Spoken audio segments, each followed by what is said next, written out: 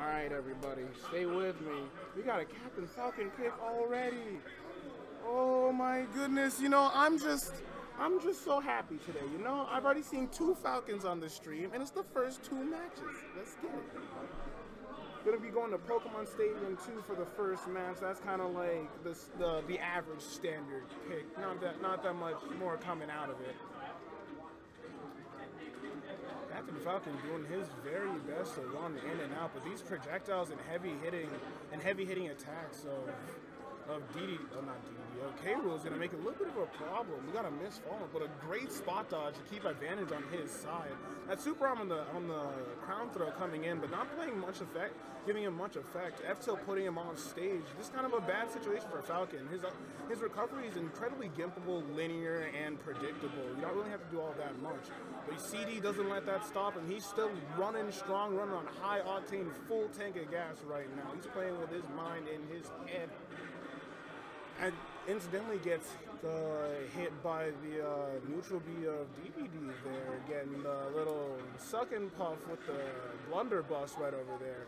A back air almost coming in to seal the deal, but he says, I got feet instead of hands. Let me show you to the shadow realm. And the first stock is going to be going to CD. This is still anyone's match. There, no one really has an advantage.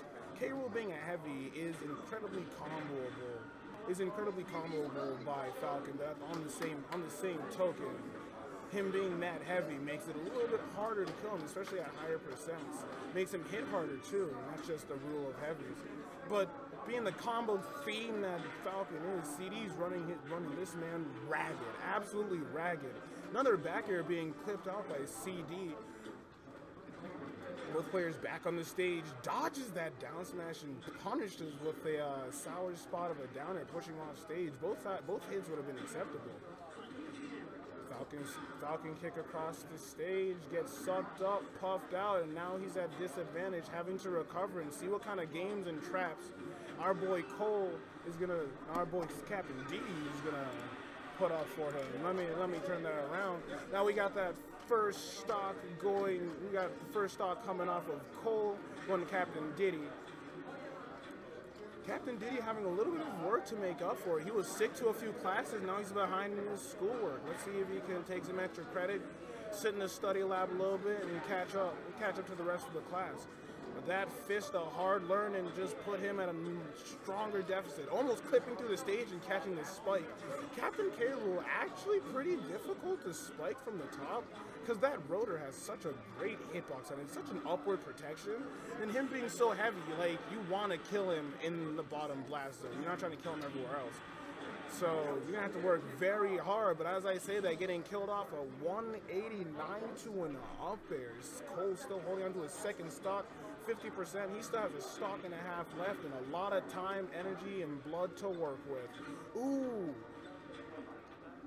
Beautiful knee coming out, pushing him off stage, holding the crown, not letting him get it. Makes it a little bit harder for him.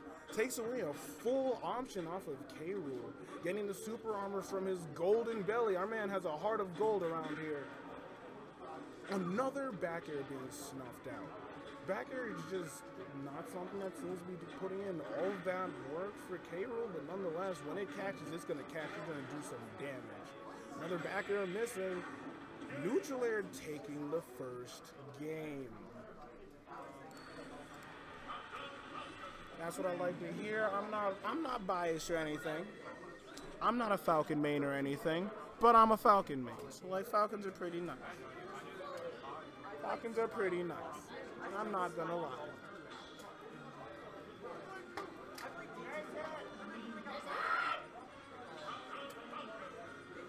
Another Captain Falcon.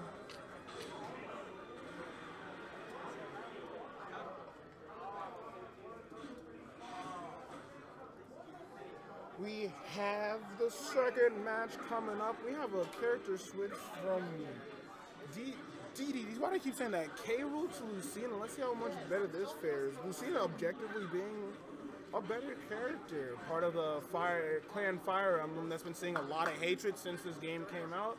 A lot of people saying they don't want swords in my fighting game, but you know what? Swords are gonna be part of almost every fighting game you play. Y'all gonna have to just deal with it. Anyway, what I'm trying to say is this match is going to be volatile. Combo Lucina is going to be a little bit harder. She's a lot lighter, a lot floatier than K. Rool. As you can see, she's a human female and not a diabolical crocodile. All right, turn the dial. Let's get it moving. We're over at 108%. Captain Falcon stuck on, stuck on the uh, ledge. Actually turns around and gets turned around again.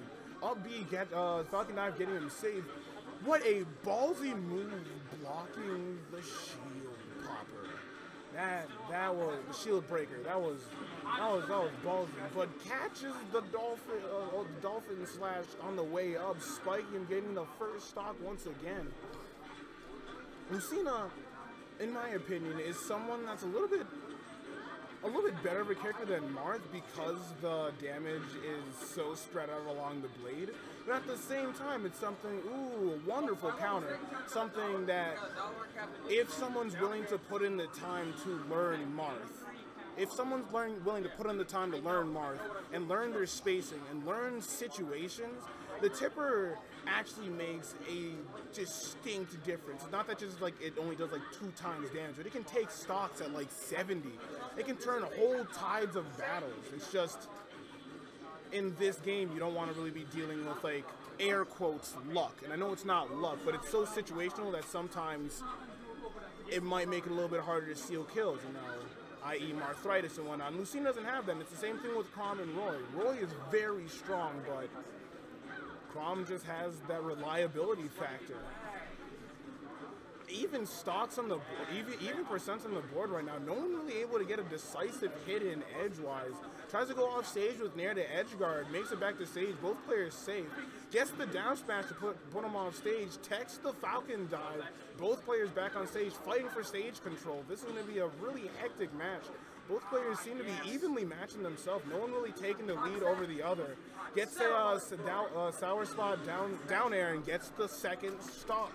Again, this is still anyone's match. No one really shows to have any real decisive killing ability right now. Not decisive killing ability, like decisive killing action right now. Both players really trying their best. I mean, that's what you want to be doing today uh, what's it called? Fair coming up off the ledge, keep himself safe, gets him moved away, and a back air to send Captain Diddy across the map. Oh my god.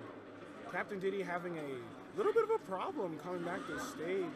I looked away for a half second and I saw that the stock was gone. I'm sorry that I couldn't catch that for you guys. But nonetheless, let's continue this match. If I get off topic, I'm going to say I'm sorry. We got the Nair train coming. We got the pain train coming. My boy, it's not raining, it's hailing. And it's hailing knees. That's what it's hailing. Me that hail knee mess, so we'll have to try it again later. But Cole on a strong tirade, just playing out of his mind right now, covering options and keeping Captain Diddy reeling.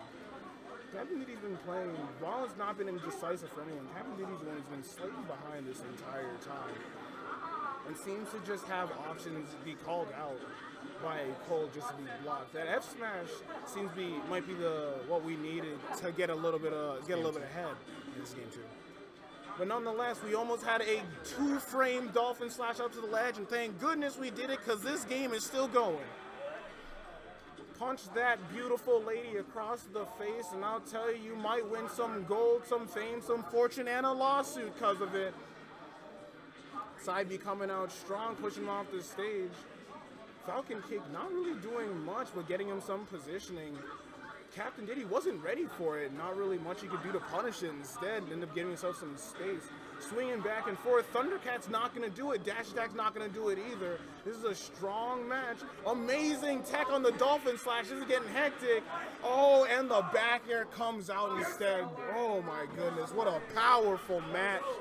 What a powerful round two over here on February 15th, 2020 at Flame Games at Liberty in Lynchburg, Virginia. I don't know what else to say. If you didn't brush your if you didn't brush your teeth today, make sure you brush your teeth. Good dental hygiene is important.